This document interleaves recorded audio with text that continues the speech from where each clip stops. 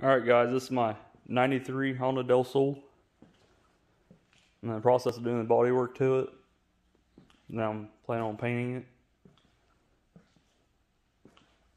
A little bit more rust to take care of and then I can get to sand it and paint it. Need to get some different lights for it. I do have the bumper and the side skirts for it.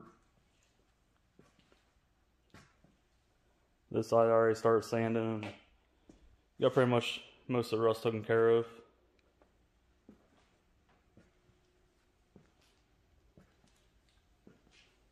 After the body work's all done, I'm gonna get some rims for it, tires. I like to lower a little bit. Then later down the road, I like to do an engine swap. Right now, it's got the D15 in it.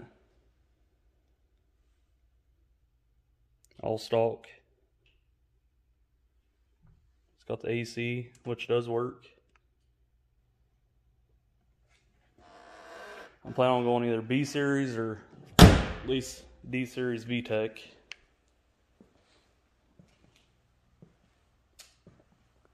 Then when I go do that, I'm gonna go ahead and get a stage three racing clutch for it.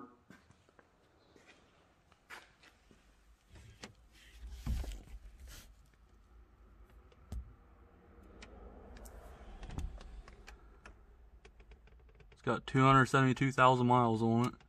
Still runs pretty good, does smoke, of course.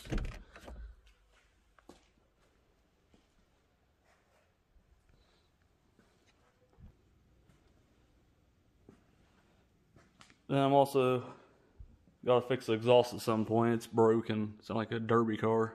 I don't like it.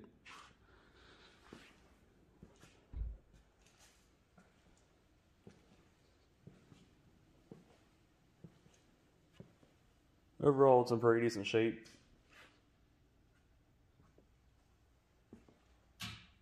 Well, for I guys catch you guys up on my last project. Thanks. Please subscribe.